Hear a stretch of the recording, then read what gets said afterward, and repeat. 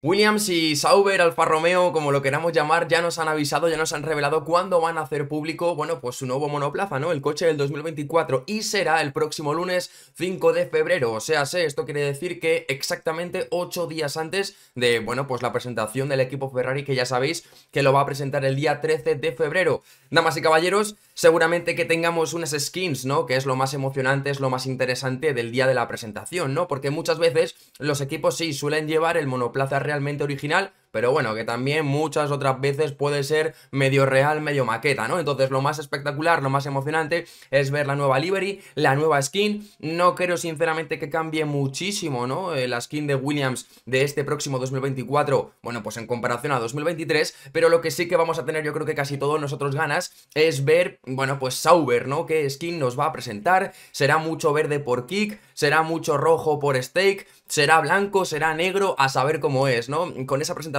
sí que estoy un poquito más ahí como, como, como pendiente, ¿no? Y por cierto, chavales, si os preguntáis si se van a hacer a la vez o qué lo que, bueno, pues la hora todavía no ha sido revelada. Entiendo que dentro de un par de semanas, tanto Williams como Sauber, como Ferrari, como el resto de escuderías, además de decirnos que nos reservemos, ¿no? Save the date, eh, que nos reservemos los diferentes días respectivamente, también nos irán anunciando en qué hora exactamente. Eso, como te digo, todavía en este momento se desconoce, pero bueno, por lo menos ya sabemos el día para eso, ¿no? Para que save the date, para que nos reservemos ese día.